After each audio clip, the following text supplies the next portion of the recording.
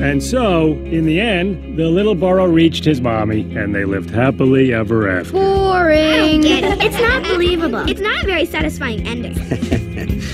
They lived happily ever after. You can't get more satisfying than that. One big happy family. Then where's your big happy family? You have us. Not your most persuasive argument, Sid. This spring, The five day outlook is calling for intense flooding, followed by the end of the world! Uh, Diego, retract the claws, please. Oh, right. Sorry. the Ice Age is coming to an end.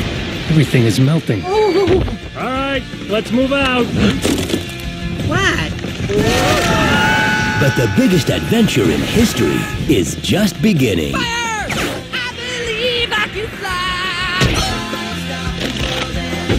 just heard you're going extinct. I'm not going extinct. Look, the last mammoth. Whoa. From 20th Century Fox and Blue Sky Studios. You might be the only two mammoths left on Earth. Do you realize that now we have a chance to save our species? You're hitting on me? You're very pretty. Oh, uh-uh. Well, I got some news for you. You're not saving the species tonight or any other night. Ice Age 2 The Meltdown.